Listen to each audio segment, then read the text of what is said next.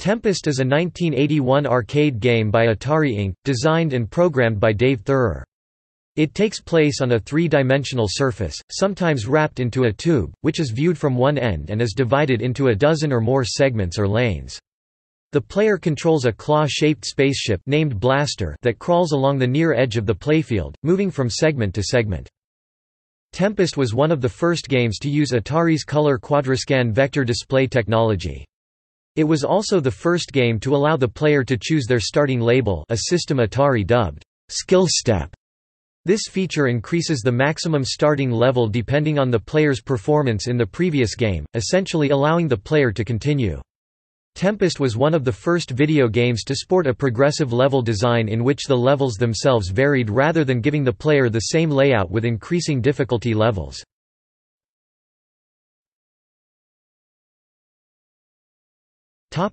Gameplay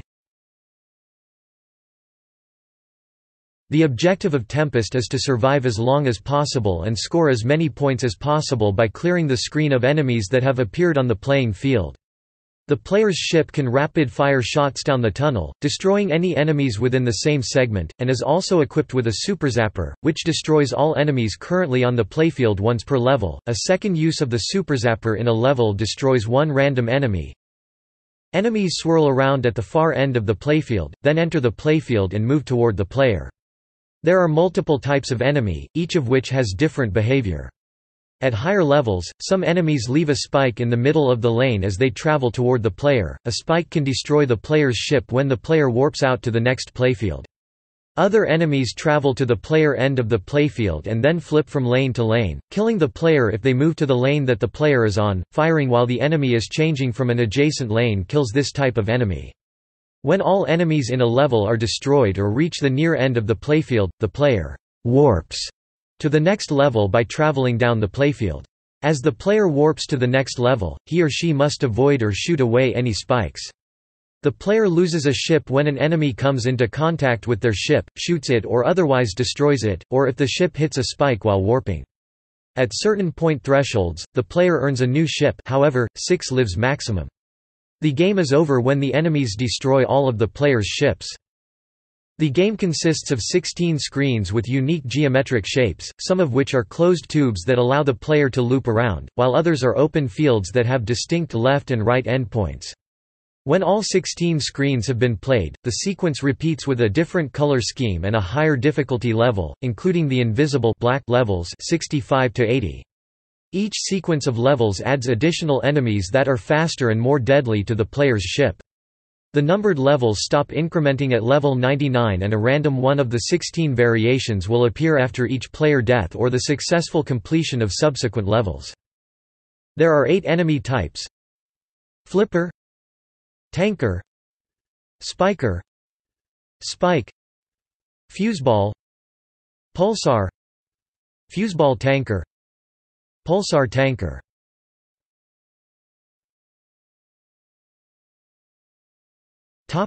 Production The game was initially meant to be a 3D remake of Space Invaders, but early versions had many problems, so a new design was used. Theurer says that the design came from a nightmare where monsters crawled out of a hole in the ground. During the prototype stages the game was entitled Aliens, then Vortex, and finally titled Tempest. Three different cabinet designs exist for Tempest. The most common cabinet is an upright cabinet in the shape of a right triangle sitting on top of a rectangle, when viewed from the side. This cabinet sported colorful side art. A shorter and less flashy cabaret-style cabinet was also released with optional side art. A cocktail-style table cabinet allowed two players to play at opposite ends of the table, the screen automatically flipped for each player.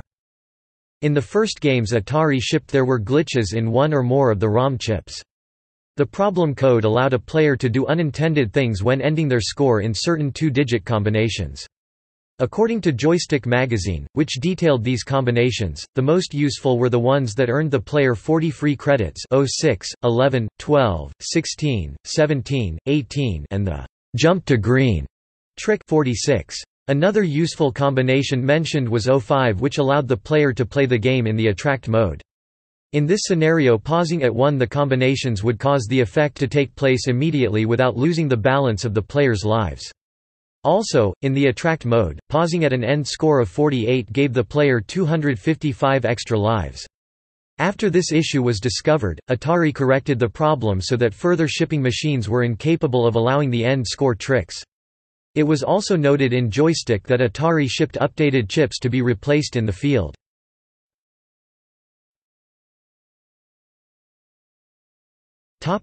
Ports An official port was released for the Atari ST.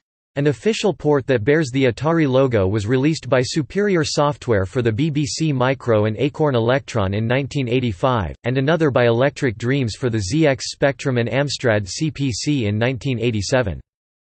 Versions for the Atari 2600 and 5200 consoles were in the works in Atari, Inc. during 1984. Unfinished prototypes exist for both of them. After the unfinished 5200 prototype was found in 1999, its original programmer, Keithen Hayenga, resumed work on finishing the port. The version for the 5200 was finally published through the AtariAge store on 7 February 2013, with an initial price of US $50. The 2600 port was also released as part of the Atari Greatest Hits compilation for Nintendo DS and iOS devices.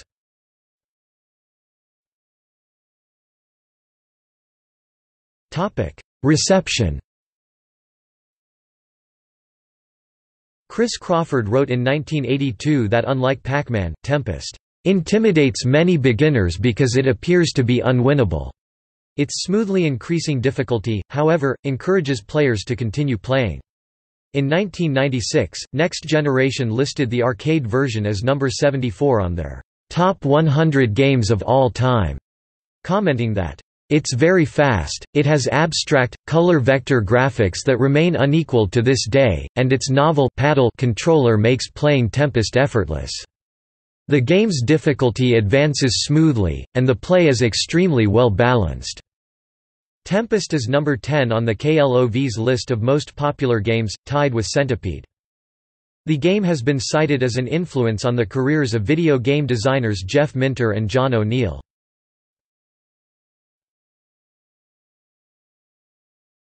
Topic: Legacy.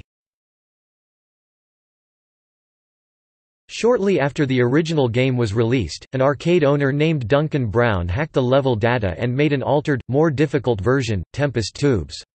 It was eventually included with Tempest in the Hasbro compilation Atari Arcade Hits, Volume 1 for PC in 1999.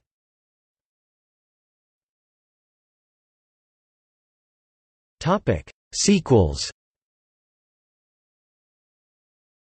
Jeff Minter created two authorized sequels, released long after the original game, Tempest 2000 1994 for the Atari Jaguar renamed Tempest X3 for the PlayStation port, and Tempest 3000 2000 for Nuon enhanced DVD players. In July 2018 Tempest 4000 was released for multiple platforms. Minter also wrote two games inspired by Tempest, Space Giraffe 2007 and TXK 2014. After TXK was released for the PlayStation Vita, the current incarnation of Atari blocked release of the game for additional platforms.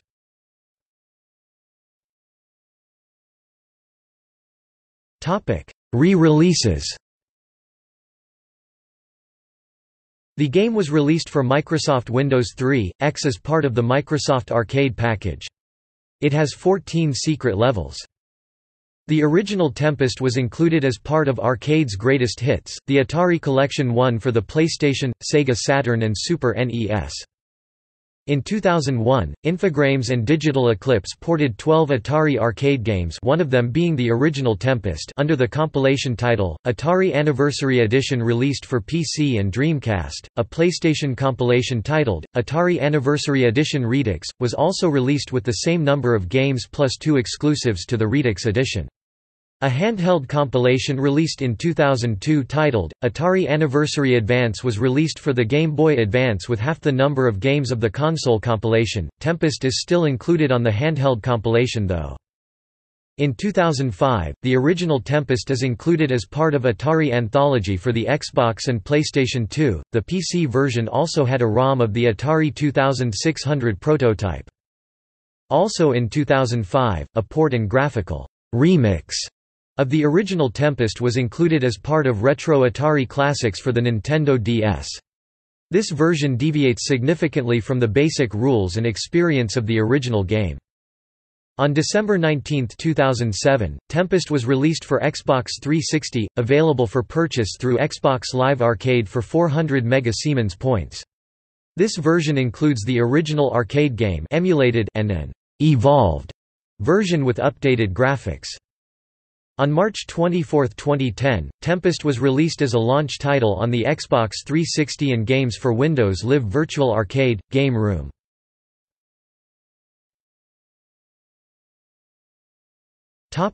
Clones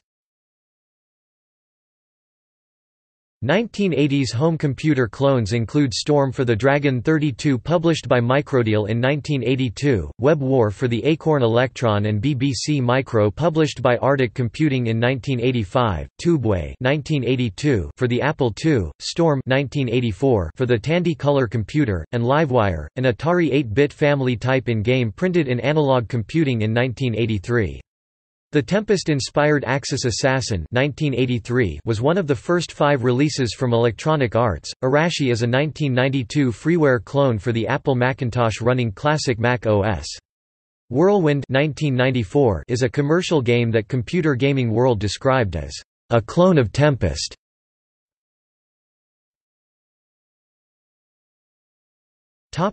In popular culture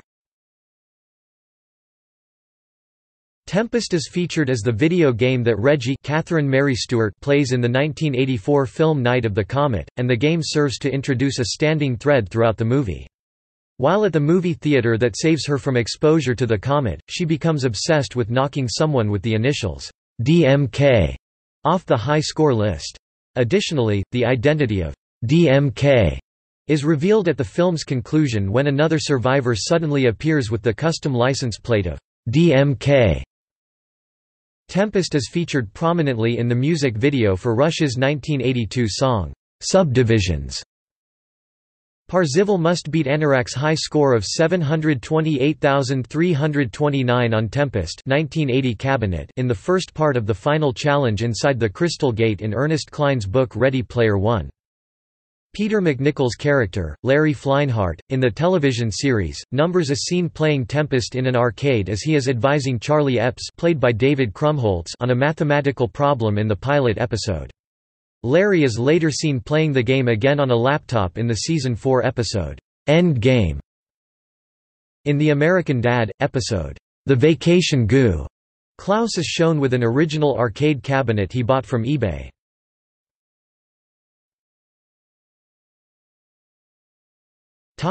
See also. Golden Age of video arcade games. History of video games